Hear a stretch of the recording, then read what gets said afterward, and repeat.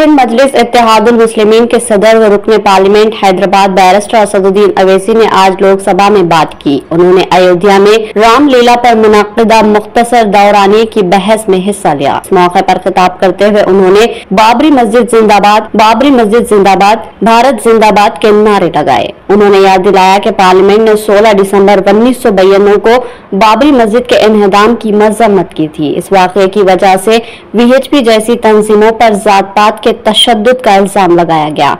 Barrister Asaduddin Owaisi ने मरकजी हुकूमत पर इल्ज़ाम लगाया कि बाबरी मस्जिद के इन्हदाम के जिम्मेदार दो लोगों को भारत रत्न अवार्ड दिया गया है। बैरिस्टर असदुद्दीन अवैसी ने याद दिलाया कि सुप्रीम कोर्ट ने अपने फैसले में कहा था कि इस्लामी इमारत की तबाही तकलीफ़ दह है। सुप्रीम कोर्ट ने अपने फैसले में महकमे आसार खदीमा की जानब से दी गई रिपोर्ट को मुस्तरद कर दिया। बैरिस्टर असदुद्दीन अवैसी ने कहा कि मस्जिद बनाने के लिए मंदिर नहीं तोड़ा गया। बैरिस्टर असदुद्दीन अवैसी ने कहा कि वो वज़ीर आज़म मोदी से एक सवाल पूछना चाहते हैं कि क्या मोदी की हुकूमत सिर्फ़ हिंदुओं के लिए है या पूरी कौम के लिए? बैरिस्टर असदुद्दीन अवैसी ने दावा किया कि 6 दिसंबर के वाक़े के बाद जिन नौजवानों को टाडा एक्ट के तहत गिरफ़्तार किया गया था, इन तमाम नौजवानों को बूढ़े होने के बाद रिहा कर दिया गया। बाद उन्होंने कहा कि बाबरी मस्जिद जिंदाबाद भारत जिंदाबाद। तो मैं कह रहा हूँ कि निशिकांत दुबे 47 में आज़ादी मिली, असदुद्दीन अवैसी से बाबर की बात पूछ रहे हैं। तुम गांधी की बात पूछते, तुम बोस की बात पूछते, तुम जलियावाला बाग की बात पूछते, तुम काला पानी में जो मुसलमान शहीद हो गए, उनकी बात पूछते, मगर बाबर की बात पूछी जाती है। तो सर, मैं मैं आपको बता रहा था खामा खान डिस्टर्ब किए, सर, मुझे मेरा वक्त ले लिए निशिकांत दुबे। सर, मैं आपसे कह रहा था, मोदी हुकूमत ये पैगाम दे रही है भारत के मुसलमानों को कि जान बचाना है या इंसाफ चाहते हो। मैं कह रहा हूँ, मैं भीख नहीं मांगूँगा। मैं इस नंगी तासुब तासुब को कबूल नहीं करूँगा। मैं दूसरे दर्जे के शहरी के मौकफ को कबूल नहीं करूँगा। मैं अपनी शनाख्त को नहीं मिटने दूँगा। अब मैं झूठी और दिल फरेब बातों पर हरगिज भरोसा नहीं करूँगा। मैं वो काम नहीं करूँगा। जो बीजेपी और नाम निहाद सेकुलर पार्टियाँ चाहती हैं, मैं वो काम करूँगा जो आपको पसंद नहीं है, संविधान के दायरे में रहकर। सर कंक्लूजन में मैं आपको बताना चाहता हूँ कि आज इस देश को किसकी ज़रूरत है? इस देश को अयोध्या में तारीख शायद नहीं पढ़ते होंगे। मौलाना अमीर अली कौन थे? पुजारी बाबा रामचरण दास कौन थे? अयोध्या के पुजारी थे। दोनों ने मिलकर अंग्रेज़ों के खिलाफ जंग लड़ी थी। और दोनों ने अंग्रेज़ों ने इनको गिरफ़्तार किया और एक पेड़ पर मौलाना अमीर अली को और पुजारी रामचरण दास को फांसी दे दी गई। देश को इनकी ज़रूरत है। देश को शंभू प्रसाद, अचन खान ये राजा देवी बख्श सिंह के फौज में थे। अंग्रेज़ों से मुकाबला किया। मुसलमान की लाश को जला दिया गया और शंभू प्रसाद को दफना दिया गया। इस देश को यह ज़रूरत है। देश को बाबा मोदी की ज़रूरत नहीं है। आज भारत को अयोध्या के मौलाना अमीर अली और रामचरण दास अचन खान शंभू खान की ज़रूरत है। सर मैं अभी सुन रहा था ये नाम निहाज सेकुलर पार्टियों के बयानात को। क्या होता है सर आप खत्म कर रहा हूँ। क्या होता है सर जब खाजी साहब गवाहों को लेकर दुल्हन के पास जाते कि तुमको निकाह कबूल है तो दुल्हन शर्मा के खामोश बैठ जाती।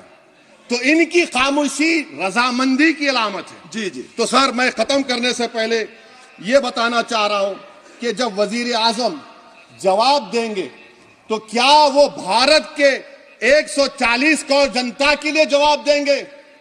या फिर सिर्फ़ हिंदुत्व की फ़िक्र रखने वालों का जवाब खत्म कर जवाब देंगे? मैं ये, दे, ये देश दुनिया मुसलमान देख रहा है। सर मैं आपको ये भी बताना चाह रहा हूँ आखिर में कंक्लूड कर रहा हूँ सर। एक मिनट चाहिए। एक मिनट चाहिए sir.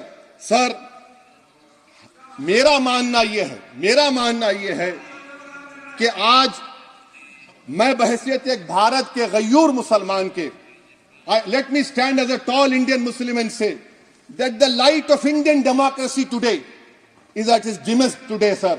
Sir, in conclusion in conclusion, मेरी फ़िक्र में मेरा ईमान मुझे कहता है कि जिस जगह पर मस्जिद थी है और रहेगी बाबरी मस्जिद है और रहेगी बाबरी मस्जिद जिंदाबाद जिंदाबाद भारत जिंदाबाद जय हिंद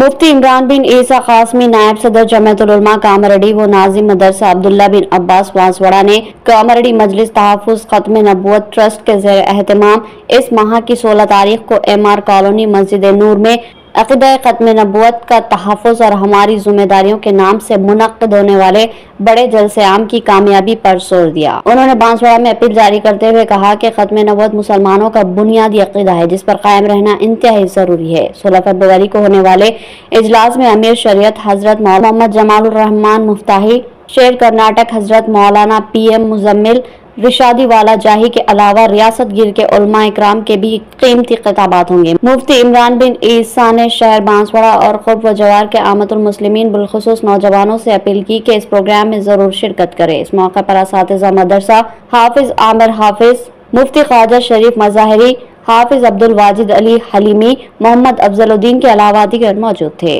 असलकम वरहमल वबरक सोलह फरवरी बरोज़ जुमा बाद नमाज़ ईशा बमकाम इमार कॉलोनी नज़दीक मस्जिद नूर कामारेड्डी में एक कदीम शान पैमाने पर जलसा बानवान अकीद तहफ़ ख़त्म नबूत और हमारी ज़िम्मेदारियाँ मुनद किया जा रहा है, जिसमें हमारी इस रियासत के अमीर शरीयत हज़रत मौलाना शाह जमालुररहमान साहब और शेर कर्नाटक हज़रत मौलाना पी एम मुजम्मिल साहब का कीमती बयान होगा।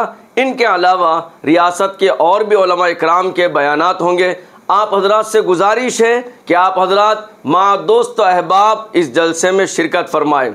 सोलह फरवरी बरोज़ जुमा बाद नमाज़ ईशा ब बमकाम इमार कॉलोनी, नज़दीक मस्जिद नूर। आप हजरात से गुजारिश है अदबन कि माँ, दोस्त अहबाब ख़ुद भी शिरकत करें और दूसरों को भी इसमें ज़रूर भी ज़रूर लेकर आए। मैं ख़ास तौर से शहर बांसवाड़ा और उसकी अतराफ़ व अकनाफ के नौजवानों से और लोगों से गुजारिश कर रहा हूँ कि इस जलसे में ज़रूर भी ज़रूर शिरकत फरमाएँ।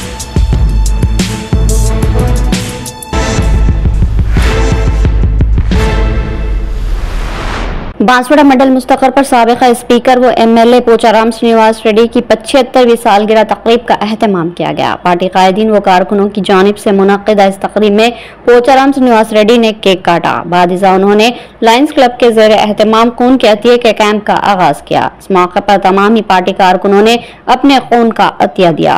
बाद इन कायदीन ने पोचाराम श्रीनिवास रेड्डी की खदमात की खूब सराहना की और कहा कि पोचाराम श्रीनिवास रेड्डी ऐसे लीडर है जो मुसलसिल अवाम के मसाइल मसाइल को हल करने के लिए काम करते हैं और अवाम के दरमियान रहकर अवाम की खदमत करते हैं। इसी वजह से वो लोगों के दिलों में बसते हैं। इस मौके पर बी आर एस के अवामी नुमाइंदों के साथ साथ वार्ड मेम्बरान मुख्तलिफ़ देहातों के sarpanches B R S party कायदीन व कारकुनान के अलावा अवाम की कसर तादाद भी मौजूद थी।